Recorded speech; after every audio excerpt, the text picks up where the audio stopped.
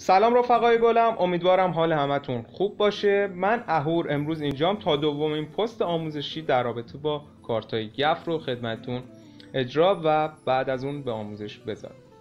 با ما همراه باشید برای اجرای این بازی و بعد از اون می‌پردازیم به آموزش قدم به قدم. میریم سراغ اجرای بازی.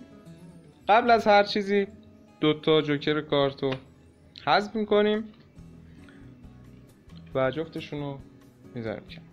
خب تو این قسمت کارت رو اسپرد می‌کنم و از تماشاگرم می‌خوام یه کارتی رو بردار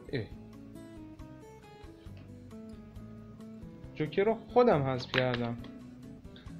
فکر کنم جوکر شعبده بازه. کلا میذارمش کنار. خب از اول. از تماشاگرمون می‌خوایم یه کارت رو از بین کارت ها انتخاب کنه. هر کارتی می‌تونه باشه. خب من تماشاگر ندارم یه کارتی رو خودم کنار می‌ذارم و بهتون نشون میدم کارتو. بی بی پیک. این اجرا می‌تونه یه اجرای عالی باشه. چرا که تماشاگرتون رو واقعا شگفت زده می‌کنه. بعد از انتخاب شدن کارت شما باید کارتو توی دسته بفرستین و کامل زوایای کارتو به تماشاگر نشون بدین. و مطمئنش کنید که هیچ گونه علامت گذاری انجام نشده. بعد کافیه که یه بشکم بزنید و کارتا رو کامل باز کنید. دقیقا همون کارتی که انتخاب شده به صورت برعکس خودشو نشون میده. و به این سادگی می‌تونید کارت تماشاگرتون رو از بقیه کارتا بیرون بکشید. لوازمی که برای این اجرا بهش نیاز دارید جعبه کارت یک کارت دابل بک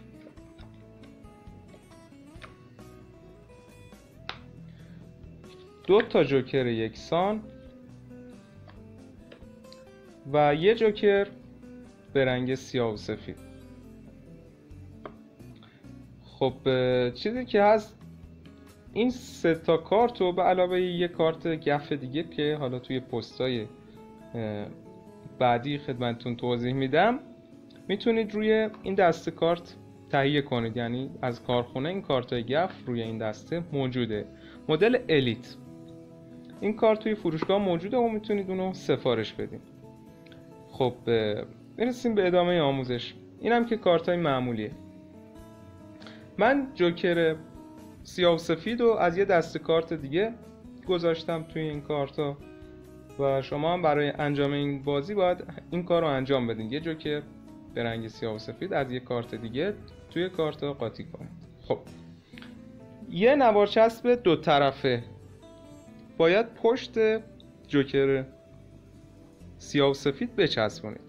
من نزدیک می‌گیرم که بتونید موقعیتش رو کامل ببینید. این از حالا میریم سراغ چینش کارتا. یه دونه از این جوکرها رو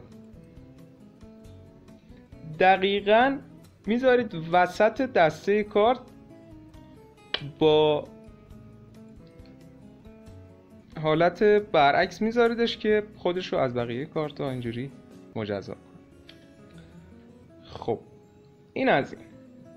کارت دابل بک باید پایین ترین کارت دسته باشه. جوکر رنگی روی دسته. جوکر سیاه و سفید روی جوکر رنگی. الان آماده اجرا میشیم و میریم که بهتون توضیح خب.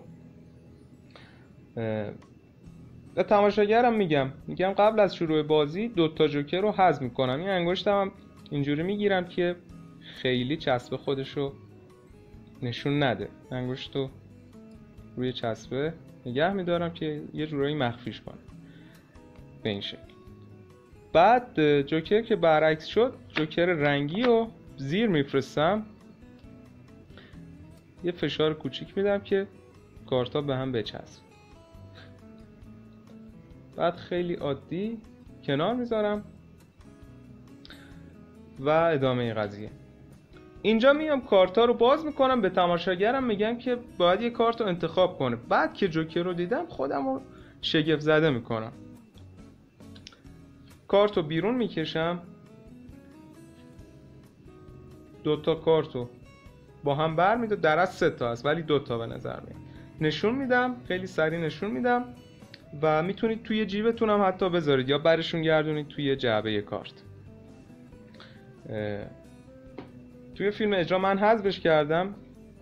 الانم هم همون کار رو می‌کنم که تفاوتی به وجود نیاد. خب بعد از اون دست کارت رو کامل جمع می‌کنید. یه بار میگید که از اول می‌خواید اجراتون رو انجام بدید. به تماشاگرتون میگید یه کارتی رو از توی دسته وسط دسته هر جا. دوست داره انتخاب کنه بیرون بذار خب این از. حالا کاربرد جعبه که بهتون گفتم چیه؟ کاربردش اینه. شما باید تو این مرحله کارتا رو که باز کردید تماشاگرتون یه دونش رو انتخاب کرد کارتا رو اینجوری روی جعبه بذاریدش. بعد به تماشاگر میگی کارت رو نگاه کن. تو همین فاصله هم دسته کارت هم جعبه رو به این شکل نگه میدارید بعد جعبه رو کنار می‌ذارید.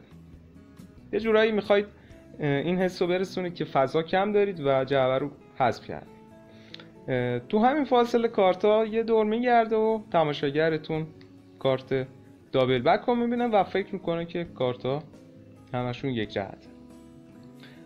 بعد کارتو می‌گیرید خیلی آروم یه فاصله به وجود میارید کارتو توی دسته میفرستید. بعد از اون چشای تماشاگر رو به لبه های کارت. حواسش رو به لبه کارت پرت می‌کنید و بهش میگید که ببین هیچ علامتی نداره. چند دور بهش نشون میدینین گوشه های کارتو. بعد کارتو به این شکل چند دور که گشت سری آخر به این شکل کارتو برمیگردونید و می‌تونید قبلش حتی بشکنم بزنید که اجرا جالب تر بشه.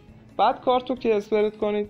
تنها کارتی که برعکسه همون کارت تماشاگره. خوشحال میشم که ما رو توی شبکه های اجتماعی یوتیوب، اینستاگرام، تلگرام دنبال کنید و ما رو follow کنید و like کنید پستامون. و فراموش نکنید که بهترین حمایت شما از ما همین دنبال کردن و لایک کردن